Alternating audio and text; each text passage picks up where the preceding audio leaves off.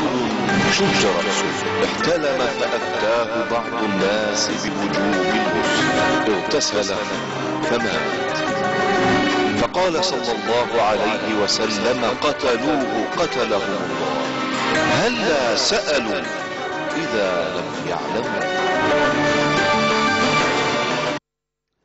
بسم الله والصلاة والسلام على سيدنا رسول الله صلى الله عليه وعلى آله وصحبه ومن والاه. الأحباب الكرام السلام عليكم ورحمة الله وبركاته. أهلا ومرحبا بكم معنا في هذا اللقاء وهذا العدد الجديد من برنامجكم اليومي هل نسأل. باسمكم جميعا ورحب بسادتي المشايخ الكرام معنا ومعكم إن شاء الله في هذا اللقاء. معنا الأستاذ الدكتور عبد القادر بن عزوز. فأهلا وسهلا سيدي الكريم. مرحبا أستاذ مرحبا. مرحبتين. ويحضر معنا. كذلك الدكتور سعيد بويزري حياكم الله شيخنا الكريم. أهلا وسهلا بكم. الله يسلمكم. ومعكم السيدة زينب في لغة الإشارة. وإخواني وزملائي في فريق العمل بقيادة الزميل يونس. فأهلا وسهلا أحبابي الكرام. نتلقى المكالمات الاتصالات إن شاء الله ونستمع إليها على الأرقام الهاتفية 0 21 39 43 43 0 21 39 42 87 أيها الأحباب الكرام إن التذكير بأيام الله الخالدة والوقوف أمامها لأخذ العبرة وتذكر النعم ورسم مناهج السير بما يستقبل من الأيام شأن كل أواب حفيظ. وإن من أعظم الأيام التي سنستقبلها إن شاء الله تعالى بدءا من يوم غد يوم عاشوراء. ذلك اليوم الصالح الذي يذكر الله فيه أهل الإيمان بنعمة من أجل نعمه. وأعظمها أثرا ودلالة هي نعمة نجاة سيدنا موسى عليه الصلاة والسلام ومن معه من المؤمنين وإغراق فرعون ومن معه من جنده وحزبه. قال الله تعالى عنهم الذين طغوا في البلاد فأكثروا فيها الفساد.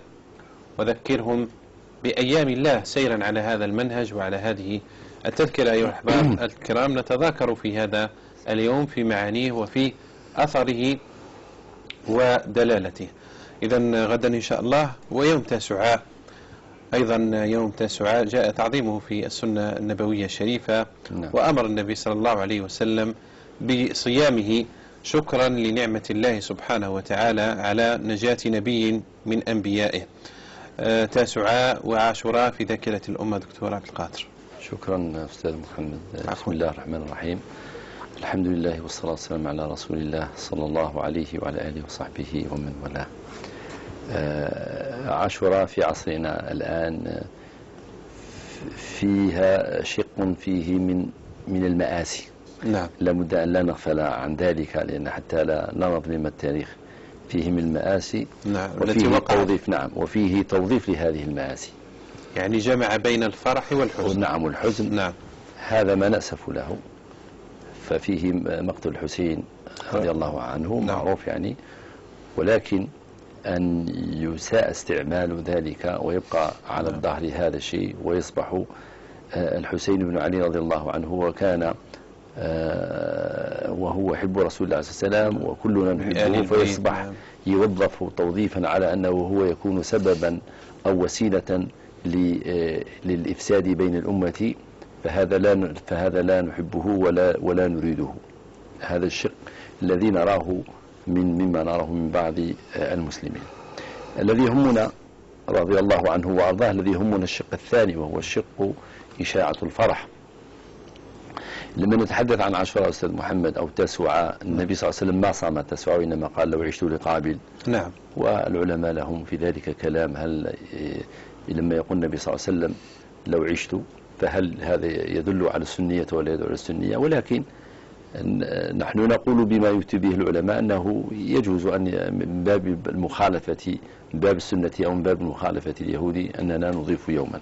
على وإن كنا نحن أصلا نخالف صيامهم فصيامهم ليس كصيامنا نعم. ابتداء. نعم. لا- لا يصومون مثل ما نصوم. آه، أكيد آه، هذا الصيام له فضل وله أجر والنبي يخبرنا على أن أنها تكفر سنة ويقول النبي صلى الله عليه وسلم أنه يطلب من الله سبحانه وتعالى أن تكفر السنة التي بعدها أو قبلها. يعني فهذا كله دعوة من النبي عليه الصلاة والسلام على أن على أن يكون هذا اليوم لا لا يمر هكذا وإنما يكون له من الفضل أو يوم من نفحة من نفحات الله من نفحات الله سبحانه وتعالى. ولكن دائما أقول لنفسي أولا قبل أن أقول للآخرين نحن دائما ربما ننظر إلى الأجر وننظر إلى وهذا مقصدنا. ولكن و ويكون ودائما وننظر إلى مضاعفة الأجر. ولكن العلماء يقولون كلما أدركنا أن هناك مضاعف الأجر لابد أن هناك جملة من المصالح. يعني مضاعفة هذه نعم في بعض الأحيان قد يكون العمل قليلا ولكن يكون الأجر فيه عظيم. نعم. ولكن عندما ننظر إلى هذا الأمر فأن يكفر سنة كاملة. من حقوق حقوق الله سبحانه وتعالى لأن حقوق العباد تبقى ثابتة بدليل أن أن أن الشهيد وما أدراك ما الشهيد أنه يحاسب على على ما تعلق من في في في ذمته من من من من من حقوق العباد من خاصة في في المال. إذا فلا بد لأن حتى لا لأن البعض قد يسيء ذلك مثل الذي ربما يذهب للحج يقول أن الحج المبرور ليس له جنة نعم إذا أديت الحقوق أولا إذا أديت حقوق العباد فما بينك وما بين الله هذا شيء آخر أما ما بينك وبين العباد يبقى يبقى قائم يبقى قائم. إما إما أن. يسقطه نعم في الذمة حتى يسقط حتى يسقط وإلا لا معنى للعدل العدل ما عنده حتى معنى يبقى هكذا المهم ما أريد أن أقصد الشيخ نعم. محمد أننا دائما عندما نتحدث عن عندما تأتي عاشوراء وهي في شهر الله الحرام المحرم في كثير من الأحيان لابد أن نتوقف عند المعاني لأن معرفة بعض الحكم والمعاني هي التي تعطي لنا آه، أو تعطي للعبادة. ليس نعم نحن نتعبد تعبدا ابتداء ولكن نعرف أيضا. نحن نصوم ولكن لا نعير انتباها للوفاء. هناك وفاء يعني النبي صلى الله عليه وسلم يعلمنا في هذا اليوم وإن صح التعبير هو يوم للوفاء. إذا كان بالأمس قلت قلت قد ممكن أن نسميه الوفاء. وفاء لموسى عليه الصلاة والسلام. عليه الصلاة الذي يعني هذا النبي نعم. الذي نعم الذي تكرم مع الأمة بنصيحة النبي صلى الله عليه وسلم بأن يخفف عنا. إذا هذا يوم للوفاء يعني المفروض هذا أيضا له فضل على له فضل. نعم على الأمة. بمعنى شكر شكر الأمة لموسى عليه الصلاة والسلام بأن يتعهدوا هذا هذا نعم. اليوم الصيام آه، لأنه يوم من أيام الله. إذا يوم الوفاء. فكم وفينا نحن لغيرنا؟ من سواء من حقوق الله أو من حقوق العباد. في هذه السنة لما يأتي قبل هذه صفة الأنبياء شيخ عبد القادر وإبراهيم الذي وفى. وفى نعم. نعم. فنحن ولكن نحن بالمقابل. ونحن نقول آمن آه، آمن الرسول بما أنزل إليه من ربه والمؤمن كل آمن بالله بمعنى نحن نجمع أيضا في الإيمان ومن أركان عقيدة الإيمان. إذا هذا الأمر الأول.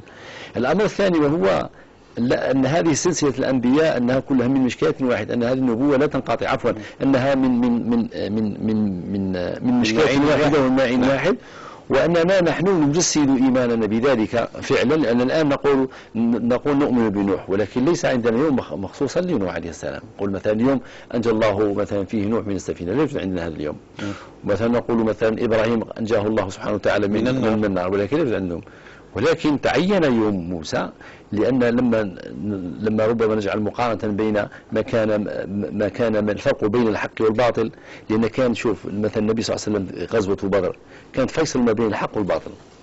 يعني دعاء النبي وشد دعائه وطلع النبي صلى الله عليه وسلم أنه كذلك أيضا في مسألة قطع البحر وهلاك فرعون كانت مسألة فيصل ما بين الحق والباطل في زمن موسى. يعني لم يكن الأمر هكذا أن الناس يقدمون على البحر ويقطعون البحر.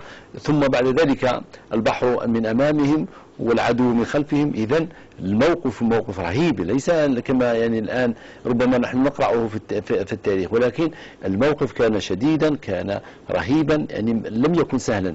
إذا هذا هذا الأمر لابد أن ننتبه لأن كأنما في إحياء هذه الذكرى نحن نحيي أيضا ذكرى ذكرى انتصار الحق على الباطل في غزوة في غزوة بدر الكبرى. إذا لابد أيضا أن ننتبه. كذلك أيضا في بعض الأحيان. لا ننسى أن أن أننا نحن مطالبين ليس بالمداهنة التي ربما وإنما هناك دائما الإحسان. نحن يجمعنا بأهل الكتاب يجمعنا قواسم مشتركة عندنا بأهل الكتاب. مم. ونحن أمر أمرنا أن نحترمهم وأن نحترم ديانتهم على الرغم أننا نعتقد أنهم قد حرفوها. ولكن في هذا في هذا الاشتراك في هذا الاشتراك فلك أنما في فيه دعوة على أننا يجب أن نحترم أن نحترم هذا الدين وإن كان وإن ظهر فيه ما ظهر من من من من, من المبطلات كذلك أيضا لما نتحدث عن عن عن آه، عن هذا اليوم المبارك يجب أيضا أن نتذكر شيء آخر وهو أنه أيضا جاء في شهر من أشهر الحرم. يعني هذه جاء أول هذا الشهر هذه العشرة نتحدث عنها هي هي في أيام الله الحرام. ونتذكر أيضا شكر النعم وهي أن الله سبحانه وتعالى بعض أوقات الدعاء جعلها خفية مثل الجمعة. أو جعلها خفية وإن كانت معينة في الأيام العشر ولكن خفية عنا كليلة القدر. نعم. وبعض الأيام جعلها الله معلومات معدودات معروفات. العشر مثلا من من ذي الحجة معروفة. نعم. وهذا الأيام معروفة. فتحقيقا للعدل وللرحمة أولا ثم للعدل ثانيا من الله سبحانه وتعالى. فجعل كما جعل يعني آه، مواضع للتنافس وبذلك فيتم المتنافسون فقد لا يدرك قد ربما يصلي الواحد عمره كله الجمعة ولا يدرك ربما الساعة هذه الساعة. وقد يدركها كل أسبوع بفضل الله منه. ولكن هذا الذي الذي يعرف أن عاشوراء فيها من أجر الثواب ويتخلف عن الصيام. فنقول ف... فرحمة الله حجة عليه. يعني هذا الشيء حجة له عليه لا, لا, لا له. لأنه ربما قد يدعي يقول يا رب يا رب عمري كان كذا يا رب عمري صغير قصير وكذا وعمري كذا. فيخاطب يعني بمعنى أن الله من عليك بأشياء معلومات. ربما تقول الناس قامت الليل أنا كنت عاجز. تؤخذ منك قد تعذر ذلك. ولكن هذا اليوم يعني كان معلوم. أنا لا أتحدث عن المرضى أتحدث عن الصحيح. كان هذا معلوم. أنت فرطت أنت لم تأخذ بالأسباب. جاءت نفحة من نفحات الله خير من من أو نقول مثلا الأسواق كانت منصوبة هذا السوق منصوب ليوم أو يومين وتأخذ سلعة ولو سلعة يعني ضعيفة أو مزجات ولكن الله يضاعف هذا هذا ما دام النية صادقة فالله يضاعف يشتري منك هذه السلعة ويضاعفها. فما فما أحوجنا ونحن على أيام قليلة. الآن لما يقولوا مثلا راه مثلا في المكان الفلاني هناك تخفيضات فالناس يسارعون. نعم. فما بالنا إذا لو مثلا يقال لهم عكس قول مثلا لو يذهب الواحد في ذلك اليوم يعطى أجرة مثلا سنة أو سنتين.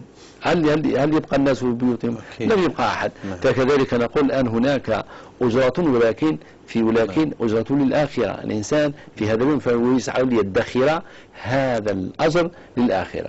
فما أسعد المتبارون في هذا اليوم إن شاء الله. وما أسعد الموفقون لصيامه ولقبول هذه الأعمال. صلى الله سبحانه وتعالى أن غدا وبعد. غد نعم. نعم. من أراد أن يقتصر على على العاشر فله له ذلك ذلك. ومن أراد أن يجمع بينهما له ذلك يعني. بارك الله ربي يتقبل من آمين الجميع إن شاء الله. إذا يا أحباب الكرام سن رسول الهدى صلى الله عليه وسلم للأمة صيام هذا اليوم العظيم المبارك يوم عاشوراء. شكرا لله تعالى على نعمة إنجاء موسى عليه السلام ومن معه من المؤمنين وإغراق فرعون وجنده وإظهارا لتوثيق الصلة بين الأنبياء عليهم الصلاة والسلام. دكتور سعيد قصة موسى لها في التاريخ ما يزيد عن ثلاثة ألاف عام. والنبي صلى الله عليه وسلم كما أشار الدكتور عبد القادر آه، يوثق هذه الصلة بين الأنبياء عليهم الصلاة والسلام كما وثقها لموسى آه، القرآن الكريم ذكر لنا قصص الأنبياء آه، السابقين وكل نبي والمحنة التي مر عليه لعل أعظم هذا القصص في القرآن هو قصة موسى نظرا لتكرر آه، ذكر آياته في القرآن الكريم وذكر خاصة قصته مع فرعون. نتكلم معكم دكتور عن إبراز هذه النقطة خاصة توثيق الصلة بين الأنبياء عليهم الصلاة والسلام وأن دين الأنبياء واحد وأن الأمة مطالبة بتبجيلهم واحترامهم وتقديرهم وتوقيرهم. نعم بسم الله والحمد لله والصلاة والسلام على رسول الله معاشر المشاهدين الكرام السلام عليكم ورحمة الله. آه، وردت قصة موسى في القرآن الكريم في أكثر من سبعين موضعا في كتاب الله العزيز. ولا يمكن أن تفهم هذه القصة إلا بالنظر في جميع هذه النصوص في هذه المواضع المختلفة في كتاب الله العزيز لتكتمل آه، هذه القصة. فموسى من أولي العزم الرسل كما آه، يعلم الجميع. وقد آه، أشرت يا أخي محمد صلاح وأشار أخي عبد القادر بأن الرباط الذي يربط بين جميع النبيين والمرسلين. هذا الرباط رباط النبوة. فالأخوة الجامعة هي النبوة. لا نفرق بين أحد من رسله كما في سورة البقرة. ثم أن الأصل واحد فالله عز وجل هو مرسلهم فهم هداة البشرية. لا بد أن لا يكتمل إيماننا بل لا يصح إلا إذا آمنا بجميع النبيين والمرسلين الذين أرسلهم الله عز وجل. وقد ابتلاهم وهم صفوة الخلق. ابتلاهم الله عز وجل بما يشاء فهم يتكاملون ولا يتكررون. ونجد النبي عليه الصلاة والسلام في كثير من المرات يقتدي بالنبيين والمرسلين. من كذب رسولا واحد كمن كذبهم أجمعين. كمن كذبهم أجمعين. نعم. آه، لذلك نبينا صلى الله عليه وسلم حينما آه، بلغه ما بلغه يوم حنين نعم. قال من يعدل إذا لم يعدل الله ورسوله رحم الله موسى قد أوذي بأكثر من هذا فصبر. وقد طبق مقتضى قوله تعالى فاصبر كما صبر أولو العزم من الرسل. فهذا الرباط الذي يربط بين جميع النبيين والمرسلين رباط النبوة رباط الرسالة وكما أشرت فعلا بارك الله فيك إلى إلى أمر الوفاء. نعم. الوفاء آه، آه، لكوكبة النبيين لكوكبة المرسلين الذين أرسلهم الله عز وجل وقد اكتمل الدين ببعثة المصطفى صلى الله عليه وسلم كما في آه، سورة المائدة. اليوم يئس الذين كفروا من دينكم فلا تخشوهم واخشون. اليوم أكملت لكم دينكم. اكتمل هذا الدين في أربع مجالات أساس في أربعة مجالات أساسية. المجال العقدي المجال الإيماني والمجال التعبدي اكتملت العبادة بشريعة الإسلام نعم. والمجال الأخلاقي التربوي إجتمعت تلك المنظومة التربوية الأخلاقية المبثوثة في الوحيين في الكتاب والسنة واكتمل الدين أيضا في المجال الأخير وهو مجال المعاملات وضبط حركة الإنسان في جميع مجالات الحياة. ثم جعلناك على شريعة من الأمر فاتبعها ولا تتبع أهواء الذين لا, يعلمون. نعم. هذه في سورة الجاثية وفي سورة المائدة. اليوم يئس الذين كفروا من دينكم فلا تخشوهم واخشون. اليوم أكملت لكم دينكم وأتممت عليكم نعمتي ورضيت لكم الإسلام دينا.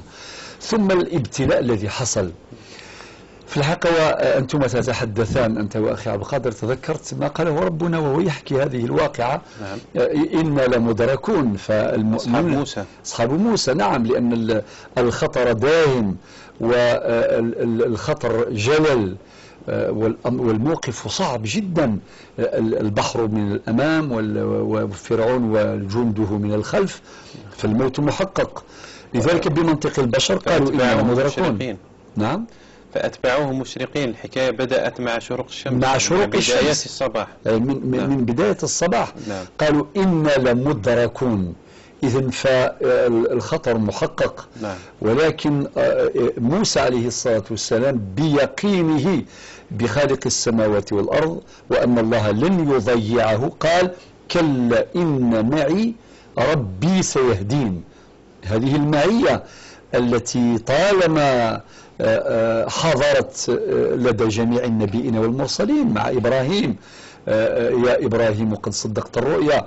في موقف آخر آه، يا نار قلنا يا نار كوني بردا وسلاما على إبراهيم ومع يوسف ومع يونس ومع آه، النبيين جميعا. آه، لذلك آه، نبينا صلى الله عليه وسلم أيضا في حياته تكرر ذلك مرارا آه، كما في آه، سورة التوبة في الآية رقم 40 إلا تنصروه فقد نصره الله. إذ أخرجه الذين كفروا ثاني اثنين إذ هما في الغار إذ يقول لصاحبه لا تحزن إن الله معنا. هذه المعية نجدها أيضا مع قبل ذلك مع سيدنا موسى كلا إن معي ربي سيهدين. وهذا شكر للنعمة لأنه الأنبياء هم صفوة الخلق وهم وهم آه، الذين يعلموننا كيف نشكر الله جل جلاله على نعمه. وكم من نعمة أنعمها الله علينا وكثير من الناس لا يشكر الله بدليل قوله تعالى وقليل من عبادي الشكور إذا علمنا موسى وعلمنا نبينا صلى الله عليه وسلم هذا ويوم صالح فيه نجى الله فيه موسى. فصامه موسى وصامه أتباعه وصامه النبي صلى الله عليه وسلم وأمر بالصيام كما يعلم الجميع كما في حديث ابن عباس حينما قدم النبي عليه الصلاة والسلام المدينة والقصة معروفة قال أنا حق بموسى منكم وفي حديث البخاري ومسلم أيضا آه، كيف أنه قال أحتسب على الله وهذا كما قال أخي عبد القادر في أجر عظيم جدا الإنسان يصوم نهار وربي يغفر له السنة السابقة بين قوسين مع مظالم العباد أو حقوق العباد. وقبل ذلك صمنا يعني يوم عرفات نسأل الله القبول. يا رب سبحانه يغفر السنة السابقة والسنة اللاحقة. هذا هذه نعم الله عز وجل. فنتعلم من خلال آه، تذكرنا لهذا اليوم من وهو من أيام الله كيف نوثق صلتنا بالله وكيف يزداد يقيننا في الله عز وجل. فإنه الركن إن خانتك أركان كما قال الشاعر وامدد يديك بالله معتصما فإنه الركن إن خانتك أركان ونتعلم أيضا كيف نكون من الشاكرين وقليل من عبادي الشكور. وسيجزي الله الشاكرين ولئن شكرتم لآزيدنكم. وفي الحديث القدسي الجليل أهل ذكري أهل مجالستي وأهل شكري أهل زيادتي وأهل معصيتي لا أقنطهم من رحمتي. لا يجوز أن تمر علينا هذه الأيام هكذا آه، ولابد أن آه، نتذكر أيام الله ولا بد أن نأخذ العبر ولا بد أن يذكر بعضنا بعضا وذكر فإن الذكر تنفع المؤمنين.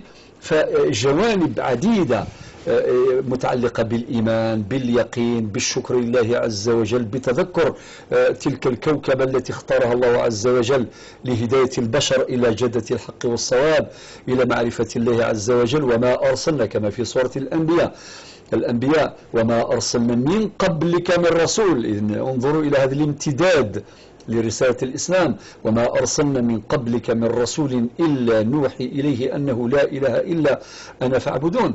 إذا كان سمحت لي واحد شاعر بقبالية عبر على واحد القصيدة حلوة جاب الأنبياء والرسل باش يبين معنى هذه الآية. نعم. وما أرسلنا من قبلك من رسول إلا نوحي إليه أنه لا إله إلا أنا فاعبدون. فإن اختلفت الشرائع وقد اكتملت بشريعة الإسلام ولكن آه، آه، الأصل الأصول اللي هو آه، وحدانية الله وغيرها من المسائل نجدها في جميع الكتب السماوية وقد جاء بها جميع الأنبياء. مما ورد في هذه القصيدة الجليلة الجميلة قال سلعه ذيلا ذي الزبور لذيور وذي تفرفيرا سلعه ذيلا ذي التوراة إذرار وذالين سلعه ذيلا ذي الإنجيل التجرد وين ثمرا سلعة ديال ذي القرآن يلدين في بوري غلقا ينزل غف محمد رسول النبي عزيزا. هذه بعض المعاني نذكرها في هذا اليوم من أيام الله تعالى. شكرا لكم دكتور سعيد ولكم كذلك نعم. دكتور عبد القادر على بيان موضوع هذا اللقاء. تاسع وعاشوراء صلى الله محمد عاشوراء. نحن أولى بموسى. أسئلة المناسبة. نقاشات وإجابات. سلامي على طه. سلامي على ياسين. في برنامج خاص مباشرة على قناة القرآن الكريم.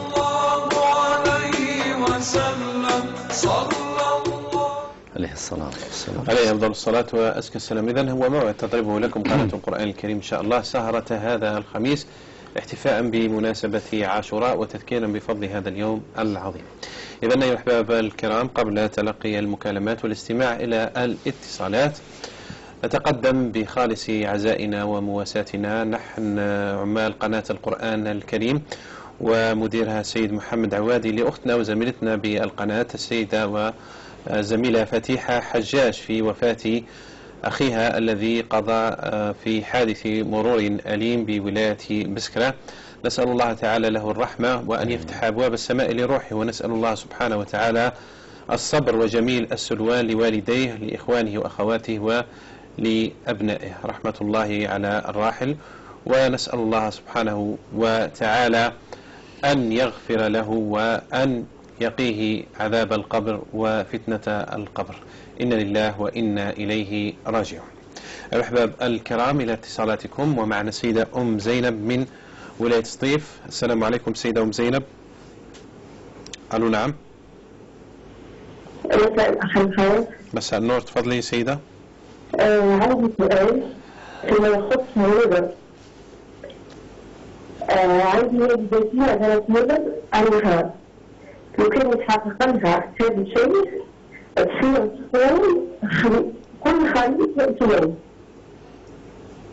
كل ما تبقى لغرضها فيما بعد لم تستطيع المساء بالنظر. نعم. الآن هي الحكاية عندها خمس سنوات. الآن هي تريد أن تأتي نظر الصح السنوات مضت فهل تستطيع أن تخرج مالية بدل الأيام اللي ما صامتهاش؟ يعني آه، صامت أيام وما صامتش أيام أخرى ما قدرت تكمل الصيام تاعها. تستطيع أن تخرج مال بدل الصيام أم لا؟ يقول لك الشيخ إن شاء الله ماذا تفعل آه، سؤال الثاني نعم فيما يخص قراءة القرآن بالنسبة للمرأة نعم. هل تستطيع أن تقرأ بدون بدون تابلت أم لا؟ بدون يعني واضح إن شاء الله. آه، شكرا. عفوا. طيب آه، الاتصال موالي هاجر من ولاية زيوزو. نعم. عفوا. أخ صابر عفوا. صابر من تيزي وزو جعفر جعفر من تيزيوس نعم جعفر آه، أنا وردني الاسم صابر معلش جعفر من تيزيوس جعفر مرحبا بك سي جعفر. السلام عليكم. وعليكم السلام ورحمة الله. مبدئيا نهضر مع سي الشيخ تفضل، تفضل سي جعفر. نعم لك ذلك. تفضل. نعم آه، الشيخ لكن تخصيها الزكاة. آه، زكاة آه، إذن ديالهم بعد آه، العاشوراء آه، يبغى النساب ولكن سوق ساكيني يبغى النساب يعني ترى ما إلا المدخول آه، بعد آه، العاشوراء لكن خاطر إذن ديالهم في آخ- أواخر م- محرم. وسقو ساكيني يبغى ولكن الآن إلا المدخول على ديك شمال قبل آه، الموعد هي. يا ترى آه، هذه هذه النوم المبلغ يتم المقبل لا خطر. ما يمكن هذه التسكية سؤال وسيم بالنسبة للشيء النسبة بعد بعد العصر بعد الأذان والإقامة.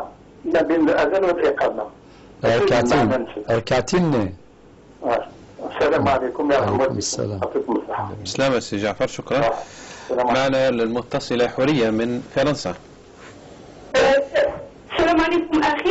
وعليكم السلام ورحمة الله. أنا عندي مشكل المشكل اللي عندي عندي بنتي آه، حبت تتزوج مع واحد آه، فرنسي الاصل ايطالي وهذا الإنسان رجع دخل الإسلام هنا في المساجد هنا في عندنا في فرنسا.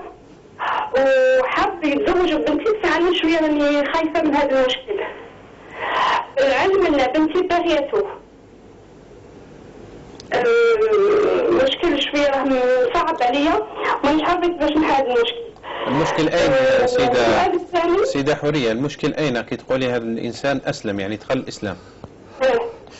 المشكل أنا أين كمان خايفة parce que دي parce que الناس الناس دي هاد ال- المسائل هنا فرنسا ولات ولات نسمع من عند الناس هكذا كيما يقول لك هذا استسلم بصح من بعد يرجع دينه. هذه اللي خايفة منها. مم. وهذه اللي خفت منها. هذا هو. هذا هو المشكل اللي راني فيه. ومن ثاني الفاميليا نتاعي يقولوا لي حاجة مشكل ماهوش مليح. آه، زيدي سالي زيدي عارفي شوية من آه، مشكل كبير هو عندي طيب أنت راكي تقولي ال- البنت مصرة على الزواج يعني مصرة على الزواج معاه تقول لي بنتي تقول يعني مسألة آه، بالنسبة لها هي استسلم نعم. بالنسبة لها هي بغت تتزوج به آه، مهما كان الزواج بغا يتزوج به المشكل نتاعي هو هذا. هو السيرة طيب. تاعي المشكل تاعي آه، خايفة لا يستسلم دخل يدخل يدخل في الدين صح؟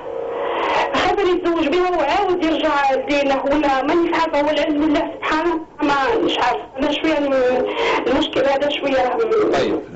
إن شاء الله يوجهك الشيخ في هذه القضية إن شاء إن الله. شاء الله والاسئله الثانية عندي صلاه سلام. سلام. واصلي وأصلي سلام آه، عندي عندي صلاة الفجر. عندي نصلي الفجر. بين الصبح بس بثمانية دقايق آه، بغيت نعرف إذا كان صح لا اللي ندير فيه صح. ولا نستنى الأذان ونصلي معهم صح. تصلي قبل الأذان بثمان دقائق. آه، الفجر نصلي الأذان من الصبح علاه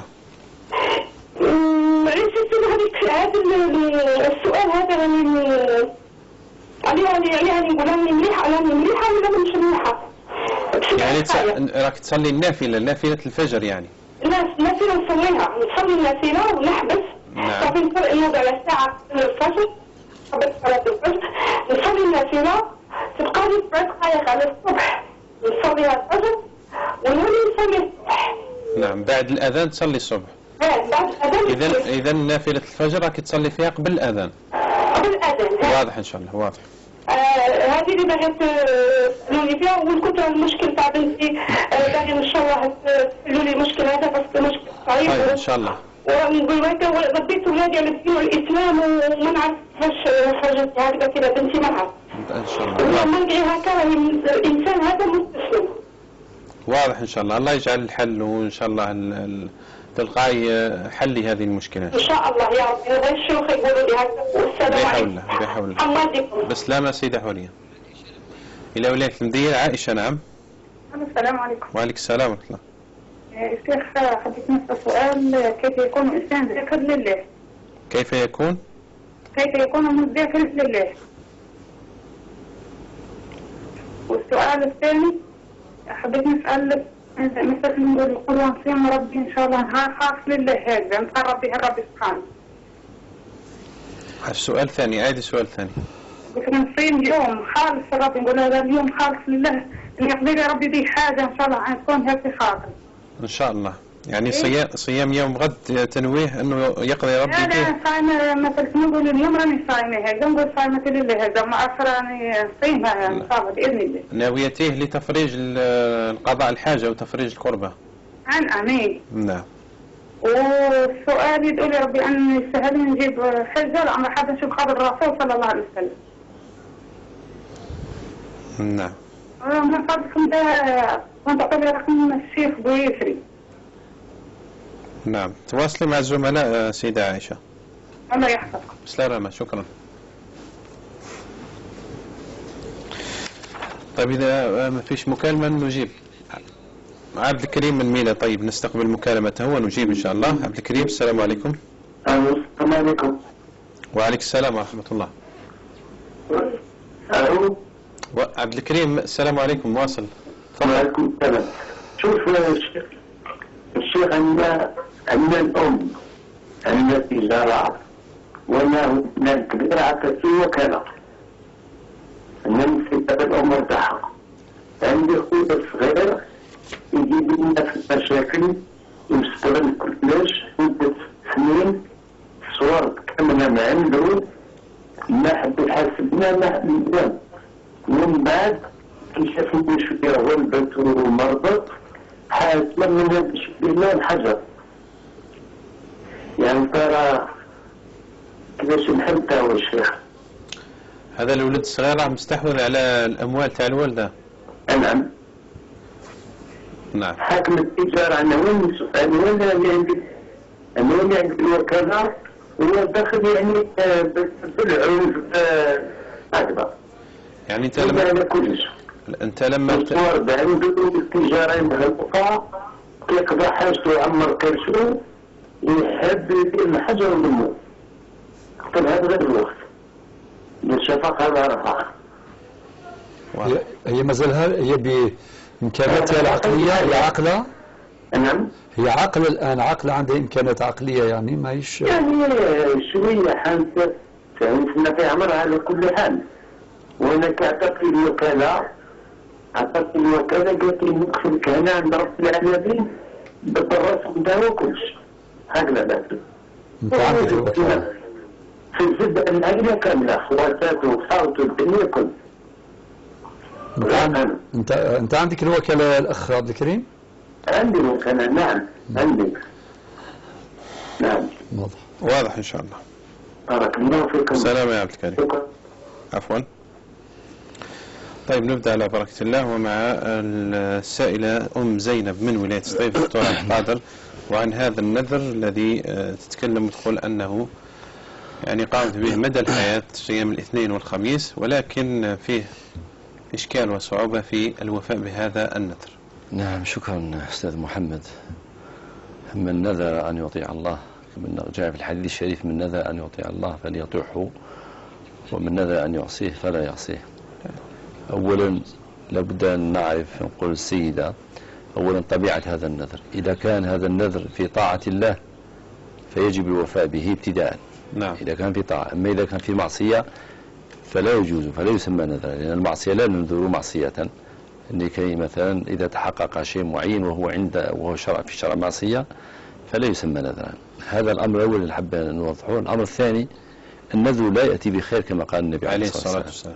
لأنه هو أعلم النبي صلى الله عليه وسلم بنا بأحوالنا. فقال النذر لا يأتي بخير. بداية انظر. نذرت شيء ثم عجزت عن ذلك تعجز. والنذر يعني في كثير من الأحيان يعني في في كثير من الأحيان فيه نقدر نقول فيه سوء ظن بالله سبحانه وتعالى. كالمساومة يا ربي أعطيني تعطيني ذيك الحاجة ندير لك ذيك الحاجة يعني. والله هو أغنى هو, هو نعم. الغني سبحانه وتعالى الغني عن العالمين. فنحن شوف الشريعة شرعت لنا النذر م- جائز ولكن شرعتنا ما هو أفضل منه وهو الدعاء. إنسان الدعاء الصدقات وهي في هذا المتناول المتيسر.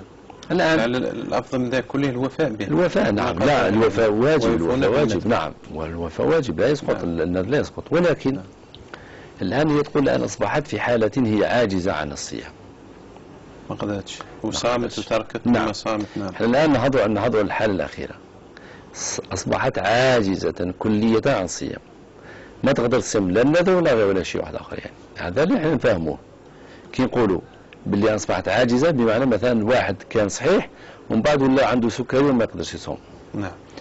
عنده جاه مرض يمنعه من الصيام فهذا أصبح عاجز. تقدم به السن وأصبح الصيام يعني مشقة عليه فهذا عاجز. في هذه الحالة هو الأصل أنه الذي يبقى. هو ما يصومش ولكن يبقى. ولكن هناك فتوى نخرج من المذهب. هناك فتوى عند بعض العلماء وعند الإمام الشافعي فيما أظن آه، فيما فيما أعرف عند الإمام الشافعي وهو أنه يتحلل عند العجز. يعني حقيقة يعني هو صح يعني الآن قال أنا عجزت يا ناس تماماً. الله يا رب عارف حالي وأحوالي. يتحلل من ذلك بكفارة يمين هذه كفارة على اليمين. إطعام عشر مساكين أو كسوتهم. إذا عجز عن إطعام عشر مساكين من من أوسط ما يطعم أهله الموسط اللي يأكل منه ويأكل أهله وهي كيفاش تأكل. إذا عجز عن ذلك ينتقل إلى صيام ثلاثة أيام. هذا أفضل شيء. هذا هو المخرج يعني هذا الشيء. وتكثر من الاستغفار وتكثر من الصدقات. إن شاء الله. ونوصي أنفسنا ونوصي إخواننا أننا لا نسارع إلى النذر نسارع إلى إلى ركع إلى أن نركع ركعتين. توسل إلى استغاثا بالله سبحانه وتعالى. نستغيث برفع أيدينا إلى الدعاء توسل بالعمل. بالعمل الصالحة ولا نذهب إلى النذر لأن النذر آه، لا يأتي بخير كما قال النبي عليه الصلاة والسلام. نعم. سؤالها الثاني كان عن قراءة القرآن بعدم وضع الخمار وتغطية الرأس. هي لا يمكنها ذلك ولكن إذا آه، مرت بآية آية سجدة وعرض تسجد تغطي تغطي تضع الخمار على رأسها. وتسجد وهي مستترة بخمار. نعم هذا هذا إذا نعم. لا ذلك نعم. شكرا دكتور عبد القادر. إلى الأخ جعفر من ولاية تيزي وزو دكتور سعيد الذي توجه إليكم بسؤال بالقبائلية نعم. الأخ جعفر يعني شروط الزكاة واضحة. كان خمس شروط. آه، الشرط الرابع والخامس بلوغ النصاب وحوالين الحول. يعني الشرط الأول اللي هو آه، الملك التام والشرط الثاني حرية القابلية للنماء والشرط الثالث أنه هذاك المبلغ يكون يعني زائد فيعني على آه، الاس- الاحتياجات آه، الإنسان آه، المزكي. ثم الشرط الرابع اللي هو بلوغ النصاب والنصاب كما نعلم يتغير. يعني معليش ندير فقط فكرة كنرجعوا مثلا برك الآن في هي خمسة خمسة. خمس شروط. نعم. آه نعم. آه، في 2005 مما أذكره أنه كان مقدار النصاب آه، هو 11 مليون و800 نعم. بعد في في 2006 14 مليون و400 في 2007 15 مليون و200 معناه 11 مليون سنتيم يعني. العام الماضي وهذا العام يعني هذا العام 55 مليون و250 ألف. معناه النسب يتغير الأمر هذا معروف يعني في في الفقه. آه، شوفوا سعر الذهب وكذا والنسب هو 85 غرام. 85 غرام هذا بالميزان الحالي لأنه اللي يحد النبي صلى الله عليه وسلم هو 20 20 دينارا. 20 دينار. آه، طبقا لما 20 دينار ذهبي. 20 دينار ذهبي و- وبالنسبة للفضة 200 درهم. هكذا ورد آه هذا الأمر في حديث النبي عليه الصلاة والسلام في الموطأ حديث رقم 584 في موطأ الإمام مالك. ولكن بالمقادير المعاصرة بالم يعني الموازين المعاصرة نقول 85 غرام يعني ما يعادل بدراهم. وبالنسبة للفضة 595 غراما الآن آه، الشرط الرابع يا أخي إذا من شروط الزكاة يا أخي جعفر. لازم بلوغ النصاب يبلغ النصاب. الشرط الخامس اللي هو في الترتيب كما قلنا ماذا قلنا خمس شروط اللي هو حوالا الحول معناه يدور العام ويلقى هذاك المبلغ مازالو. لو كان ينقص نفترض جدلا أن واحد آه، في محرم اللي, اللي فات يعني 1439 عنده 100 مليون يعني 100 مليون سنتيم يعني 1 مليون دي دينار. طبعا عنده أكثر من النصاب. إذا الشرط تحقق اللي هو بلوغ النصاب. ولكن بعد شهرين ثلاث شهور صرف هذا المبلغ. ولكن آه، من بعد آه، بقى هكذاك ما ما رجعلوش ما عندوش دراهم خلاص راح له ذلك الشهر خلاص. يبقى كذا حتى ربما بعد عامين ثلاث سنوات باش يدخل مبلغ آخر. فيبدأ في حساب جديد. صحيح الكثير من الناس يقدمون زكوات أموالهم في شهر محرم عاشوراء. يقدموا ربع العشر عاشوراء وتعرفوا كل هذا الشيء. ولكن الإسلام ضمن آه، آه، يعني آه، دخول خروج الأموال من الأغنياء إلى الفقراء على مدار 12 12 شهر. كل واحد بحوله كل واحد بشهره. طيب إذا كانت عندك مبلغ مازال ما دخلش يعني إذا كان إما دين إما إذا إذا كان دينا مرجوا يعني ترجو أن هذاك المبلغ يسدد من قبل المدين. أعتبره في حكم المملوك يعني كانه في يدك. ولكن إذا كان ماهوش من الدين الديون المرجوة بالك أنت تعطي له قرض ما يرجعوش إلا بعد سنوات. كي تستلم ذلك القرض تزكيه مرة واحدة تخرجه مرة واحدة. الأموال المنتظرة ما عندهاش ما إذا كان ما دخلوش راك درت عملية جار- تجارية ما دخلوكش دراهم. أنت شوف واش عندك في ذلك الشهر. راك تزكي في شهر محرم. آه، زكيت العام اللي فات هذه السنة زكي لكن طبعا النصاب لا يزال قائما. ما إلا النصاب إيه، ما زال يلا ما إلا يروحش النصاب يعني أي نث صبغ أنت ذرمث لقفوسيه نغندا ذي البنك أنا ذي البوسطة. ورث بضار النصاب ذا قلت زكي ضارة خاطر ربي ذي القرآن الناد والذي في سورة المعارج في 24 25 الآيتان في الآيتين 24 25 والذين في أموالهم حق معلوم. للسائل والمحروم. وذي صار التوبة خذ من أموالهم صدقة يعني زكاة تطهرهم وتزكيهم بها. مع انتهى إلى قد يقيم النصاب قائما. لا يزال النصاب قائما. فهذا شرط معتبر. الأولى الشرط أديزي وسقواس يعني حولان الحول. أذري بقلان دقفوسيه أتحصبض أتزكيض ماذا ذري مولاش دقفوسيه وديك الشمال هذه الزكاة سوى ما إلا ثلاث وين صعيد الطمانة باللي أكيد يخلص حسب ذري مني أماكن وركي قلا. ما إلا الشك ذو كتخلي صارا هذه البركة اللي قيم العوام وكتخلي صارا ودي تسارا الدينيس طرافانينس وتعشيرا كل سقواس. الديون غير المرجوة لا تزكى في كل عام بل تزكى مرة واحدة عند قبضها.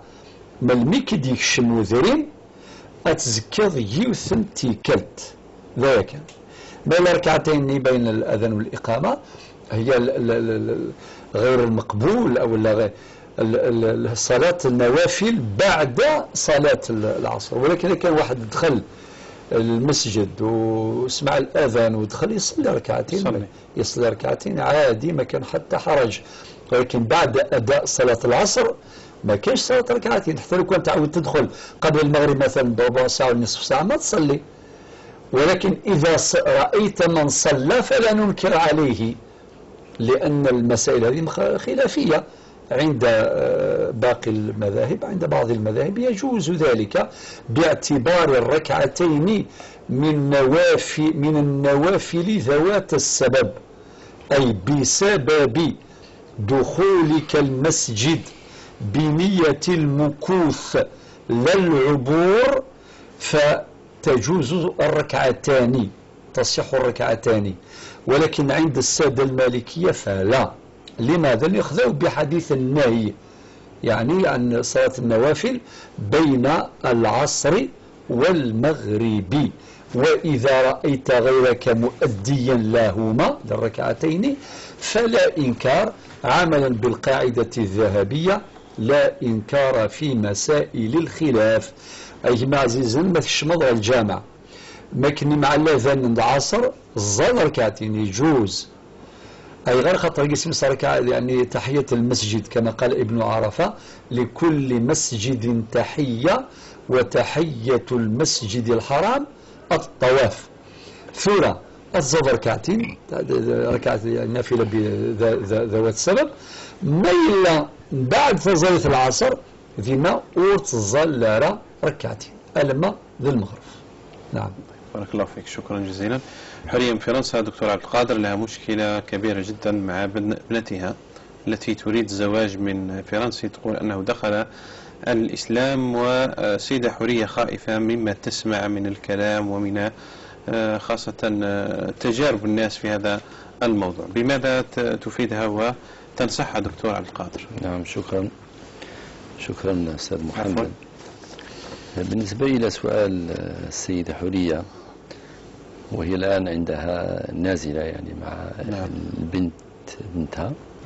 المسرة على هذا المسرة مسرة على الزواج إحنا أولا آه، نقول السيدة حورية إحنا أولا نأخذ الأشياء بظاهرها. إحنا الشريعة علمتنا أننا نأخذ الأشياء بظاهرها. شفنا واحد يقول لا إله إلا الله محمد رسول الله ويقول ربي يرى الله ونبي محمد عليه السلام ويأمن بمن أمن ويصلي كمن صلى نقول مسلم. خلاص أصبح منا. هكذا الشيخ هكذا أستاذ محمد وهكذا السيدة حورية. أما قضية الضمان لا أحد يضمن. شوف آه، مستقبل بنتك بين قوسين. لا تضمنه لا مع المسلم اللي كان أصلا مسلم من والد مسلم ولا مع من أسلم حديثا. وضمان استمرار الإنسان على الإسلام أو عدم استمراره لا يضمن لا هنا في الجزائر ولا في أوروبا. حتى واحد ما يقدرش السيد حرية أن يضمن الإنسان يقول لك أن هذا سيبقى على على الإسلام دائما أو يترك الإسلام دائما. إذا إحنا وش نقول لك سيدة حرية؟ الإنسان يتحرى نعم يسأل نعم يشوف يشوف نعم هذا صحيح ولكن لا يستبق ما يشوفش لا يستبق بعد ذلك يقول وبالك ربما يترك الإسلام. هذه ربما هذه ما يعني تحتاج إلى تحتاج إلى دليل. نعم. ولعل البعض ربما الذي ترك قد يكون ترك لسبب. أو البعض ربما ترك أيضا هذا موجود. إذا كما عندنا الناس يخرجون من الإسلام إلى إلى ديانة أخرى عندنا هناك أناس يفيدون إلى إلى إلينا نعم. فنقول الآن هكذا الشيخ ابتداء ننظر إلى إلى الأصل وهو الظاهر. راه مسلم إحنا نقول مسلم مرحبا به. أخونا مسلم إلى آخره هذا هو الأصل. ولكن التخوف الآن من التخوف لا يستطيع الإنسان الحياة كلها الإنسان له له, له أقارب له يعني إخوال آه، أولاده من بعد آه، يعني الاحتكاك بالأسرة غير المسلمة يعني والقرابة غير المسلمة. وتأثير هذا على والله يا شيخ محمد نعم. ماذا على تخوف السيدة حورية. أنا معها هي أم. نعم. الآن أنا أنا أشعروا نعم. بأنها تتحدث بقلب الأم.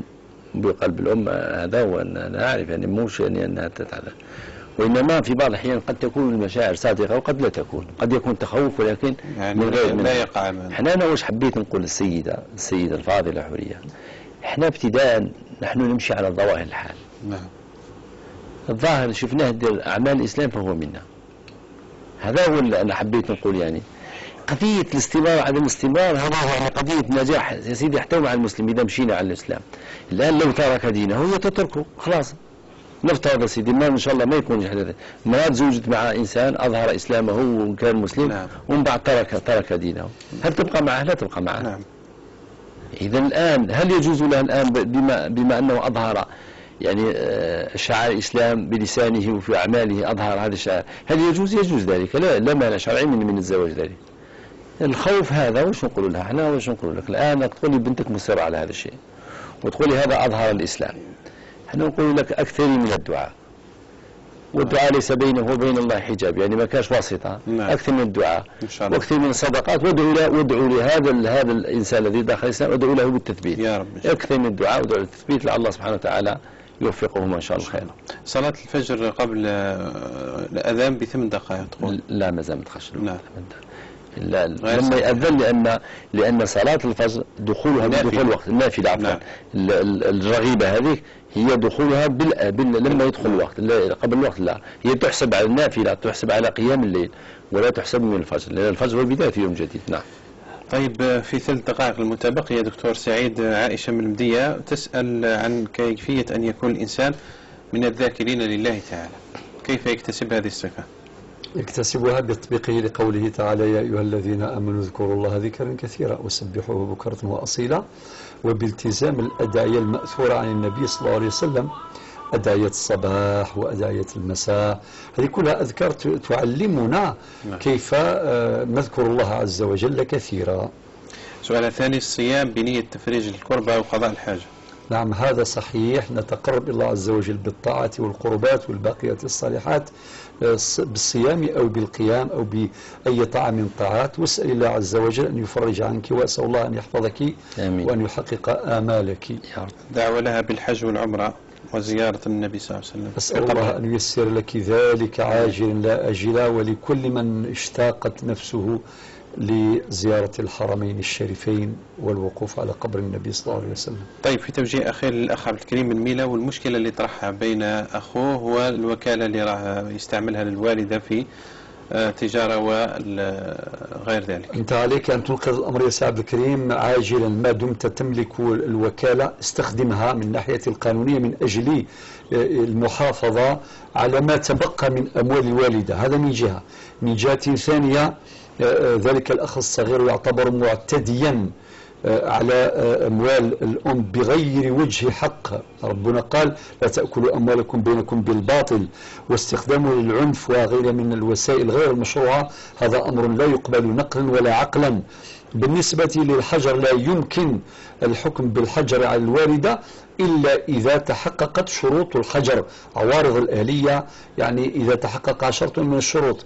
وللأم الحق في الدفاع عن نفسها عن طريق خبير من الخبراء فتعرض على الخبير السيكولوجي على الخبير العصبي الخبرة الطبية. الخبرة الطبية هي تثبت ذلك أو تنفيه فإذا لم يتحقق ذلك فتحتفظ بكامل حقها في التصرف في أموالها بالتعاون معك باعتبارك صاحب وكالة إذا كان سمحت يا عبد مش عارف إذا كان خلاص الوقت وإلا قاتل دقيقة أو نصف دقيقة يعني ربي يسر المهم يا أخي عبد الكريم اجتهد في العمل بما ذكر يستخدم هذه الوكالة. ومن الناحية القانونية حتى إذا كان وسط المحكمة القانون الجزائري قدم جملة من الضمانات من أجل المحافظة على وضعية الأم القانونية من خلال الاستعانة بالخبرة الطبية درءا لكل ألوان الحجر بلا مسوغ شرعي بارك الله فيك. شكرا جزيلا دكتور سعيد. شكرا جزيلا الشيخ عبد القادر. شكرا لزميلتنا زينب في لغة الإشارة للإخوة والزملاء في العمل بقيادة المخرج يونس. لكم أيها الأوفياء والمتابعون والمتابعات نتمنى لكم إن شاء الله عاشوراء مباركة للجميع. تقبل الله منا ومنكم. والسلام عليكم ورحمة الله وبركاته.